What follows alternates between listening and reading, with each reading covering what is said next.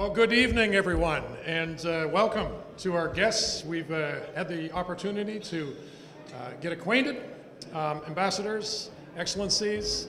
It's uh, good to, to see you again. Good to see such a great crowd, too, and I hope everybody has had the opportunity to, to look around and, and see the, the different cultural uh, displays um, and had a chance, of course, to, to sample some of those famous Turkish treats. I don't know how you guys stay so slim. I don't know that's, that's possible with all those goodies. Anyway, I, I want to thank um, you for this, for, for doing what you're doing.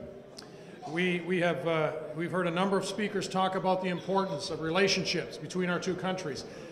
I, I can't stress that enough. I, I, I, think it's, it's quite obvious that Turkey is becoming a real force in this world, and it's, it's becoming a real force for good things. Uh, I, I know that, that Canadians and Turkish people will continue to grow together and continue to experience each other's cultures, continue to intertwine. I want to, I've met so many of them too, the, the expats, the, the Turkish expats that have become Canadian citizens. They make great citizens, they're, they're great businessmen, and they're wonderful family men and women as well too.